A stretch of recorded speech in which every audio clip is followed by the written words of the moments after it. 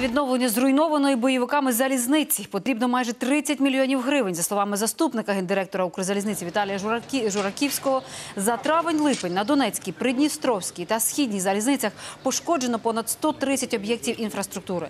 З них 13 мостів і шляхопроводів, відновлення яких забере 80 мільйонів гривень. Виведено з ладу 56 об'єктів колій, пошкоджено 8 приміщень вокзалів та станцій. І на відновлення локомотивних депо Слов'янськ, Красний Лиман, Кондрашева, Нова потрібно до мільйона гривень.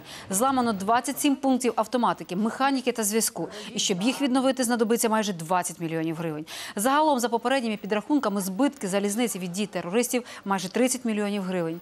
Також від учора змінено маршрут поїздів Донецьк, Москва, Маріуполь, Москва, Донецьк, Санкт-Петербург.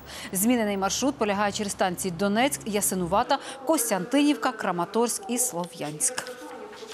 Укрзалізниця приймає постійно міри для того, щоб не припиняти рух ні пасажирських, ні, пригород, ні приміських, ні вантажних поїздів. Великих проблем е, з пропуском поїздів пасажирських немає.